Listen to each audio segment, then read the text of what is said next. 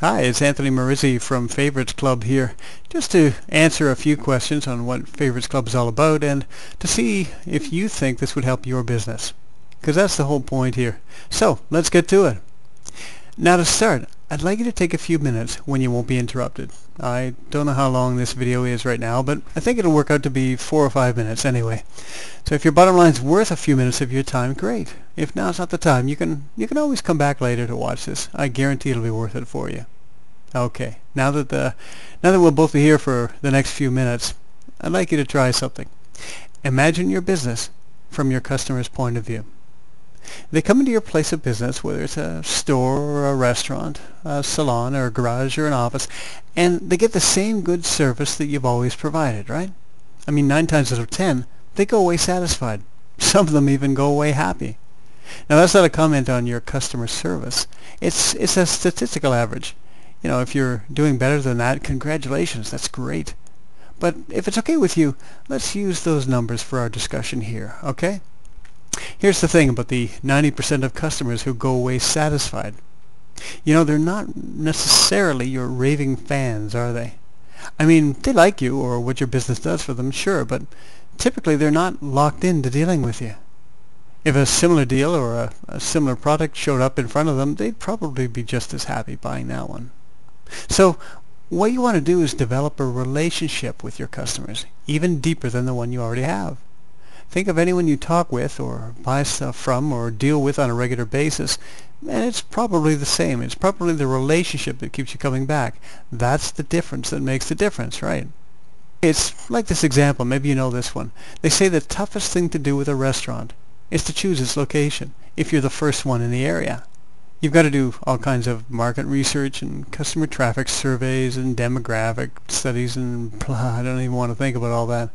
But when that restaurant becomes successful, have you ever noticed what happens soon afterwards? Well, another restaurant shows up right near it.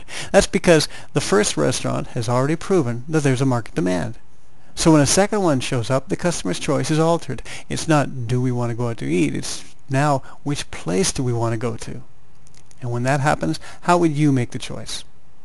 Well, most people would go to the restaurant that they feel better about because of the atmosphere, because of the experience they have when they go there, the people there, and based on how they feel about the place in other ways too.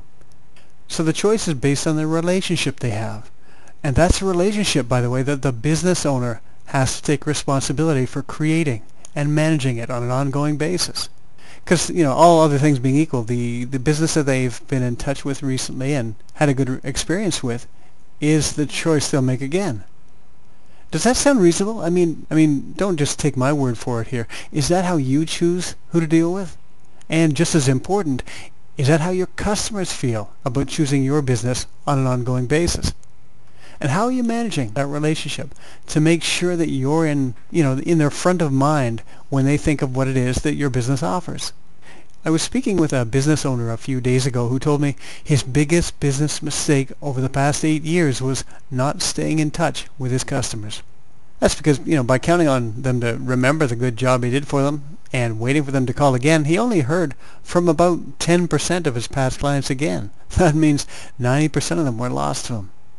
So he was thinking of putting together a mailing to reach out to about 600 past clients, and he recognized how much work that was to do and the hefty cost of sending out by mail. Besides that, he, he knows that it would take repeated contacts to introduce himself, or to you know to reintroduce reintroduce himself to them, because most of those clients hadn't spoken with him in years.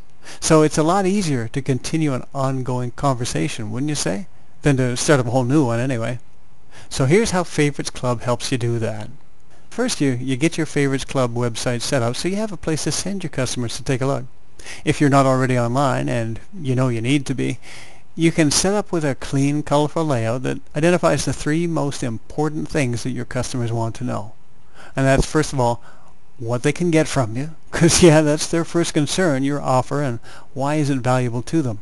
Second, who you are, you know, things like your company name, so they know if it's someone they recognize, someone they trust.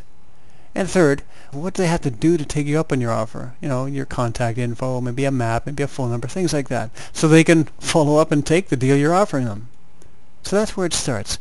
From there, as part of your Favorites Club site, your customers can download a coupon that gives them an instant discount on the next purchase. And that's for a promotional item that you've arranged beforehand. But don't worry, we'll help you choose what to put there, as well as a strategy for the next three to six months or more.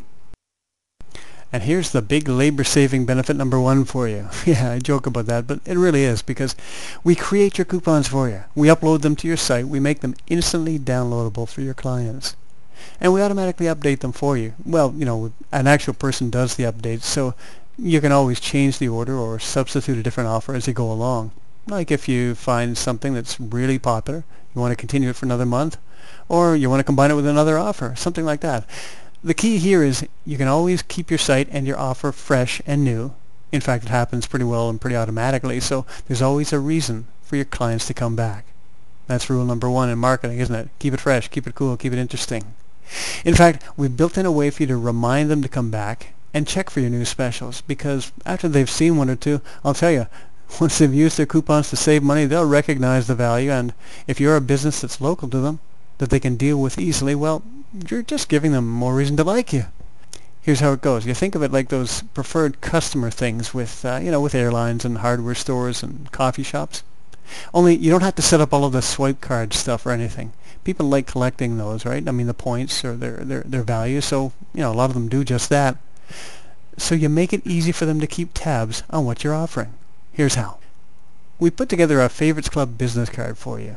You know, it's got your URL on it. It's something you give to everyone who buys something from you. It's just like a regular card. It's not one of those swipe cards or anything. So you include it with their change or with their invoice or receipt, stuff you're doing anyway, and it directs them to your Favorites Club site to get a preferred client web-only special that saves them money. Now, that's not a lot of work for you as it is, right? Since you're already giving them their change or their receipt or whatever it is.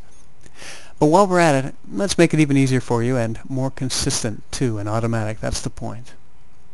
When they go to your site, there's a place for your customers to sign up for instant notification when there's a new promotion for you, for them to check out. To get them interested enough to sign up, you offer them a new member coupon for an instant 20% off any purchase with you.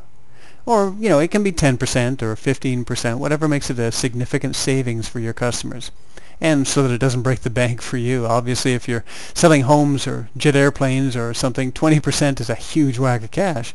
So we'll both pick something that fits your business as well. Now here's big advantage number two for you. You're spending very little on a per purchase basis to give your customers this new member sign up discount. Like on a $20 purchase, you're giving them what, $4? That's not huge, right? But here's the thing. The huge value for you is that you just got a customer to sign up and agree to receive your promo messages ongoing all the time. And since you'll have a new promo on your site every month, that means your customers hear from you at least once or twice each month about saving money by dealing with you. Think that'll keep you at the top of their mind? Well, yeah, in a good way, too. Because it's good news to them. It's someone they can deal with easily and they already know who you are, they already know they trust you, and they already know where to find you. So for a cost of acquisition, that's what we call that, the cost of acquisition here is tiny, you've got someone else to market to on an ongoing basis. We'll put that customer's name and email address into something called an autoresponder. Don't know if you've heard of those, but it sends out a quick note to them more consistently than trying to remember to call or send flyers out, and it's a lot cheaper too. So you can choose to use an even better tool with Favorites Club. Yeah, yeah, it keeps getting better, right? Because instead of just sending a promo message out twice a month, you can include a newsletter instead. Okay, it's on topics of interest to your customers, and it's about your industry or specialty, something you decide that's relevant. Oh, and here's big advantage number three for you. You knew it was coming, right? Sure. We prepare your newsletter for you. It's written, it's typeset, it's formatted with colors and graphics that match your Favorites Club site. Okay, we'll put in a picture or two as well and take care of any licensing or copyright stuff on those pictures. So the articles are written and edited by a native English speaking writer and I review every one of them